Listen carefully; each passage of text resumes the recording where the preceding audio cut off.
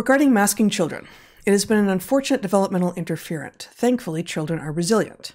Perhaps they will develop a keen sense of communication that relies on sound and presence in lieu of visual input. What are your thoughts on this? The interference of technology is equally harmful, eyes always on the phone.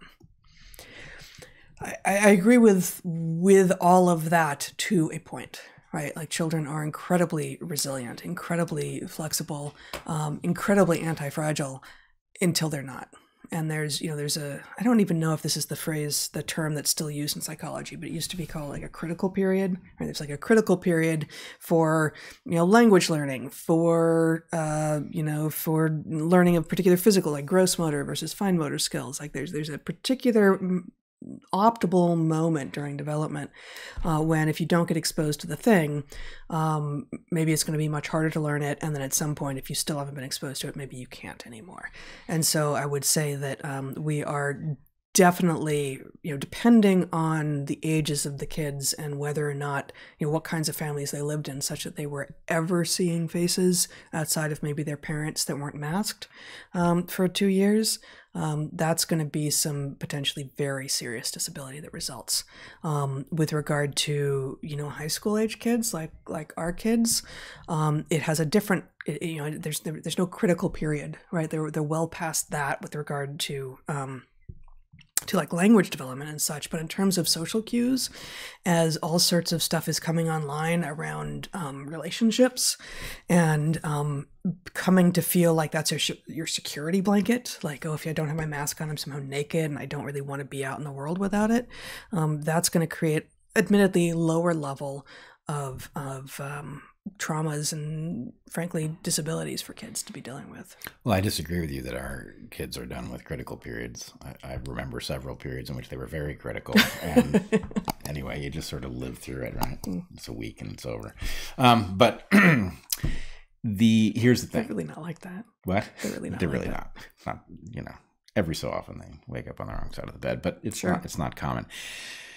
Uh the masks and the disruption of the normalcy of reading facial stuff is going to be a huge deal. Yeah. Right. Hopefully, it results in some kind of awareness, and hopefully, we actually come to figure out how to test how much damage was done. Because one of the things that will be tempting yeah. here is to bury that information and pretend it wasn't harmful. Right. Uh, one other thing I wanted to say. Oh yes, there is potentially there are two possible silver linings here, though. Okay. One is that when these kids realize how badly they were betrayed with this mask thing, it's going to give them a generational problem with authority, which mm. could be very useful at fixing planet Earth. So anyway, I'm kind of hoping that okay. that that happens. And the other thing is I've made the argument that learning disabilities aren't a good thing, but that what they do is they open the door to something. Once you're disrupted in your normal acquisition of the usual stuff that comes in school, if school is passing on bad stuff and you've been disrupted, it can it can uh, free you from it.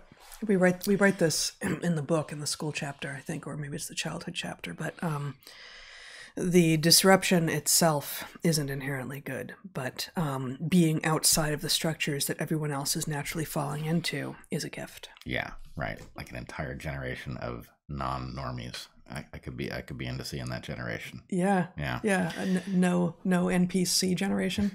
Yeah. There you go. No NPCs, no normies. Okay. Yep. Can you speak on the physiological dangers of wearing a mask? For example, when we exhale, we do exhale carbon dioxide, but we also exhale broken cell particles, bacteria, viral particles, and other waste matter. I haven't seen research on this, but I wonder the same thing. I mean, I think I think your question reveals what the possibility is and i don't i don't know. Well i'm a little bit dubious about this because okay. although it's certainly true we are also so radically different from even our recent ancestors in this regard. In other words okay if masks are bad because you're breathing all sorts of stuff that you exhaled that would not ordinarily be captured right then living indoors too right? And true. so and anyway, living in cities.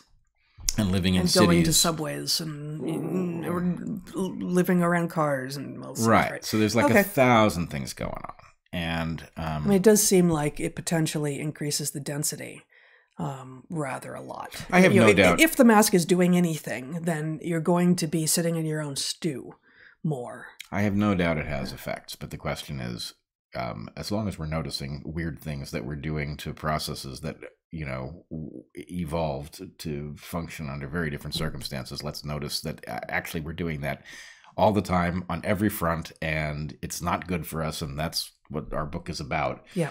And yes, this is one that we might ask that question of, but it's hardly alone.